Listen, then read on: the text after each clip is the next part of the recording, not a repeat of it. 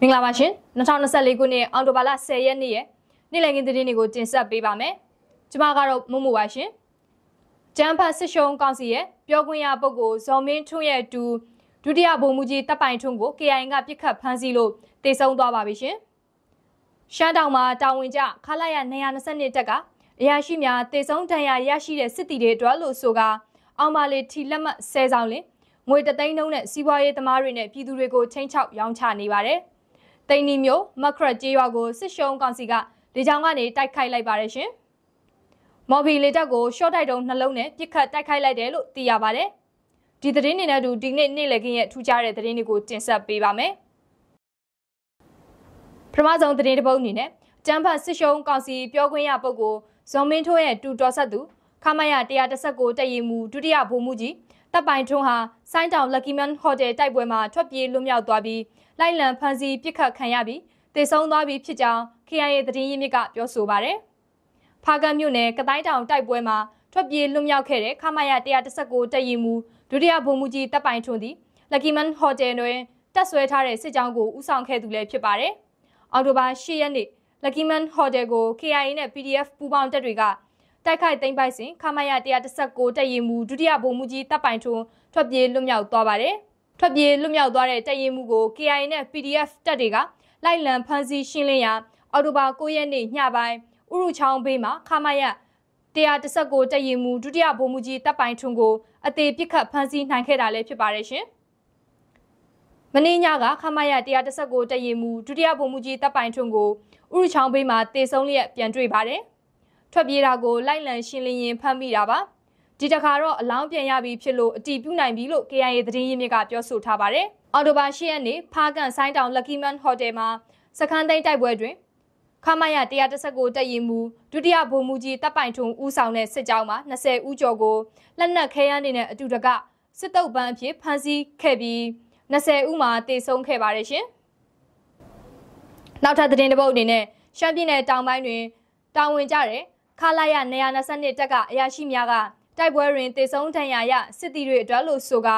စီးပွားရေးလုပ်ငန်းရှင်များနဲ့ပြည်သူတွေကိုအောင်ပါလေထီလက်မှတ်ဆယ်ဆောင်လင်တသိန်းနှုန်းနဲ့လိုက်လံချင်းချောက်ရောင်းချနေကြောင်းဒေသနေပြည်သူတွေကပြောပါတယ်။ရှမ်းပြည်နယ်တောင်ပိုင်းညောင်ရွှေမြို့နယ်ဟဲဟိုမြို့နယ်အောင်ပန်းမြို့နယ်ကလောမြို့နယ်စတဲ့မြို့နယ်တွေမှာအကြမ်းဖက်စစ်ရှုံးကောင်စီရဲ့ခလာရ222တက်ကအရာရှိများကိုယ်တိုင်ယူနီဖောင်းများဝတ်ပြီးမြေပြင်ကိုကွင်းဆင်းပြီး တေဆုံးဒဏ်ရာရတဲ့စစ်တီတွေအတွက်လို့ဆိုကာအသေးစားအလက်စားစီးပွားရေးလုပ်ငန်းရှင်တွေထံကိုထီလက်မှတ်ဆဲဆောင်လင်တသိန်းကျပ်နှုန်းနဲ့မယူမနေရချင်းချောက်ရောင်းချနေတာလည်းဖြစ်ပါတယ်။ခလာရ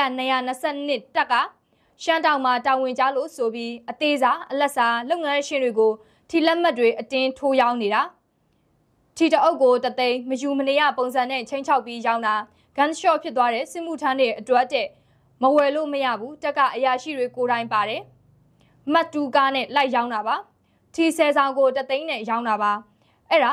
ဆိုင်ထဲကိုဝင်လာတော့အောင်ပါလီထီဆယ်ဆောင်ကိုဝယ်လိုက်ရတယ်ညင်းလို့လည်းမရဘူးလို့ဒေသနေပြည်သူတို့ကရှင်းပြပါဗျ။စီးပွားရေးလုပ်ငန်းရှင်တချို့ကအောင်ပါလီထီအတင်းကျပ်လိုက်လံရောင်းချနေတဲ့ခလာရ222တက်ကအရာရှိများမှာအမှန်တကယ်စစ်တပ်ကအရာရှိများဟုတ်မဟုတ်ကိုနေဆက်ရမြို့နယ်အထွေထွေအုပ်ချုပ်ရေးဦးစီးဌာနကဝန်ထမ်းတွေကိုဆက်သွယ်မေးမြန်းခဲ့ရာခလာရ222တက်က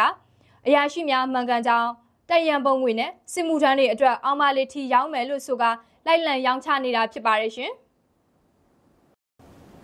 နောက်ထပ်သတင်းပုံအနေနဲ့ကိုကန့်တက်မတော် MMGA ကတင်ပိုက်ထားတဲ့ရှမ်းပြည်နယ်မြောက်ပိုင်းတိန်နီမြို့နယ်ရှိကျေးရွာတရွာကိုစစ်ရှုံးကောင်စီကယနေ့အောက်တိုဘာလ10ရက်နေ့မနက်အစောပိုင်းမှာလေကြောင်းပုံကျဲတိုက်ခိုက်ခဲ့တယ်လို့ရှမ်းမြောက်ဒေသသတင်းရင်းမြစ်ကပြောဆိုပါရယ်။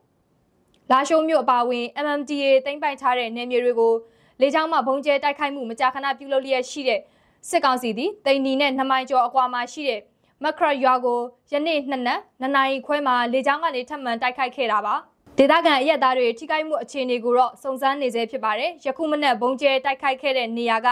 တိန်နီမြို့ရဲ့မြို့အထက်တိန်နီမြို့ရဲ့အရှိတ်ဘက်ချမ်းကွမ်းလုံရွာလန်အဲ့ဒီဘက်ကိုသွားတဲ့ကျေးရွာဖြစ်တယ်လို့ရှမ်းမြောက်စစ်ရေးနိုင်ငံရေးလှစ်လာသူဦးစောဆန်းကပြောပါတယ် တိုက်ပွဲဖြစ်ပွားမှုမရှိဘဲစစ်ကောင်စီကလေကြောင်းပုံကျဲတိုက်ခိုက်မှုထပ်မံပြုလုပ်လာခြင်းဖြစ်တယ်လို့ဦးစောဆန်းကဆက်ပြောပါတယ်။ယခုတိုက်ပွဲဖြစ်ပွားခြင်းမရှိဘဲနဲ့ကြေးရွာတွေထဲကိုလေကြောင်းနဲ့ဘုံကျဲတိုက်ခိုက်တာစစ်ကောင်စီကတောက်လျှောက်နိုင်ငံတကာစစ်ရာဇဝတ်မှုချိုးဖောက်နေတယ်လို့ကျွန်တော်တို့ကအဲ့လိုမှတ်ယူထားတယ်လို့ဦးစော်ဆန်းကပြောပါတယ်စစ်ကောင်စီအနေနဲ့ဇူလိုင်လမှစပြီးကိုကန့်ဒေသရှိတိုက်ပွဲဖြစ်ပွားခြင်းမရှိတဲ့နေရာတွေကိုလေကြောင်းတိုက်ခိုက်မှု25ကြိမ်ထက်မနည်းရှိခဲ့ပြီးပြည်သူ30ကျော်တေဆုံးက တရားခန့်ထိခိုက်ဒဏ်ရာရရှိကြောင်း MMDA ကထုတ်ပြန်ထားပါတယ်ရှင်။နောက်ဆုံးသတင်းတစ်ပုဒ်အနေနဲ့ဒေါက်တာဇော်မြင့်မောင်နဲ့မတရားဖမ်းဆီးခံထားရတဲ့သူနိုင်ငံရေးအကျဉ်းသားတွေအတွက်လက်တုပ်ပြန်တဲ့အနေနဲ့ရန်ကုန်မြို့ရှိစစ်ရှုံးကောင်စီလက်အောက်ကမော်ဘီလေတပ်ကိုရှော့တိုက်တုံးနှလုံးနဲ့တိုက်ခိုက်ခဲ့ကြောင်း Civilian Military SRDF အထူးစစ်စင်ရေးစစ်ကြောင်းမှတာဝန်ရှိသူတို့ကပြောပါတယ်။လေတပ်အရှေ့မြောက် CEO တစ်ခုလုံးကြတယ်။ KHW training jet တွေပြုပြင်ထိန်းသိမ်းတဲ့ကိုရောင်ထိတယ်လို့ကနဦးသိရတယ်လို့၎င်းကပြောပါတယ်။အော်တိုဘာ9ရက်နေ့ည9နာရီအချိန်မှာ Civilian Military SRT ရဲ့အထူးစစ်စင်ရေးစစ်ကြောင်းနဲ့ရွှေဘိုခရိုင်အမှတ်15တပ်ရင်းတို့ပူးပေါင်းပြီးမော်ဘီလေတပ်ကိုတိုက်63 short တိုက်တုံးနှလုံးနဲ့တိုက်ခိုက်ခဲ့ကြောင်းသိရပါတယ်။60မမကောင်တာတစ်ချက်ပြန်တဲ့ရဲဘော်တွေမထိခဲ့ဘူးဘေးကင်းကြတယ်လို့၎င်းကဆက်ပြောပါတယ်။ အဆိုပါမရှင်ကိုအကျဉ်းထောင်အတွင်းမတရားဖမ်းဆီးခံထားရတဲ့သူတွေနဲ့အတူရှိနေကြောင်းပြသတဲ့အနေနဲ့လှုပ်ဆောင်ခဲ့ခြင်းဖြစ်ပြီး၎င်းတို့အဖွဲ့အနေနဲ့ဖိနှိပ်ခံပြည်သူတွေနဲ့အတူစစ်အာဏာရှင်စနစ်အပြီးတိုင်ပြတ်သုံးတဲ့အထိတိုက်ပွဲဝင်မယ်လို့လည်းအသိပေးထားပါတယ်ရှင်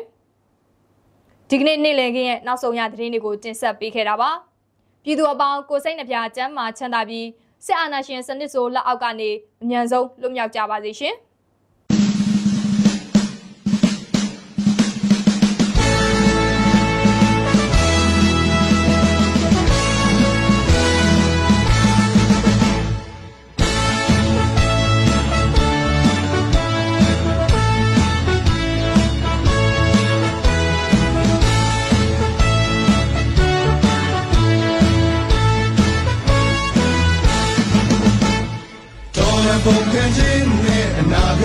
တ်ဖြစ်သည်စီစိတ်တဆွမ်းအားတူညီစူးစမ်းတဲ့ကြော်မီဖေရဒီအောင်စုအတွက်အသက်သွေးပေးစမည်ကောင်းရီကိုစီထမ်းရွက်ချမည်စာနာကူညီပေးမှာထောက်ရလက်တွေညီရဲ့ရင်တွေတော့ပြီးပြီးတတိသစ္စာညီရန်သူအာနာယူမြချေမုံမြင့်ဖြတ်မည်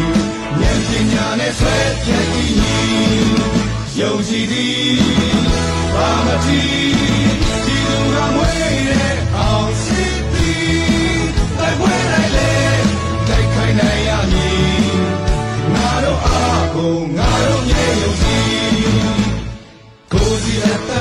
ကြတဲ့ရေကောင်းပေါင်းတို့သည်တမိုင်းချွေးပေးစတဲ့ကြကတိပြုသစ္စာတီဒီလူလူတို့အပေါင်းဤစံကြပြရမည်နိုင်ငံတော်ကိုထုစစ်ကြမည်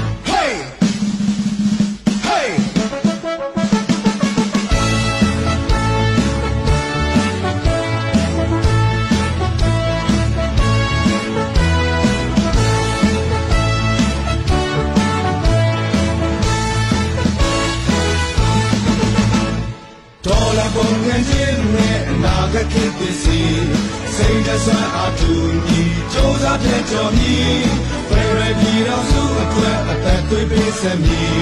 တာဝန်ကိုစီထမ်းရွက်ကြမည်စာရာကူညီပေးမှာထာဝရလက်တွေညီရဲရင်သွေးတော့ပြီးပြီးတတိသစ္စာညီ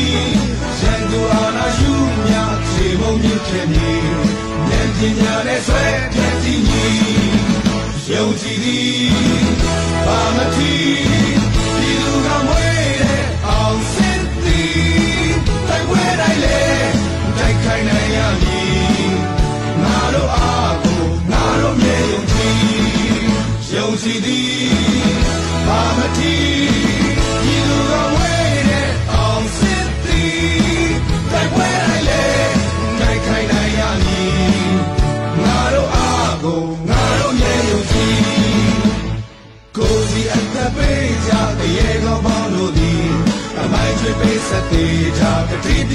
ပြုသစ္စာတီဒီလူလူပေါင်းဤစန္ဒပြရမည်နိုင်ငံတော်ကိုထုစစ်ကြမည် Hey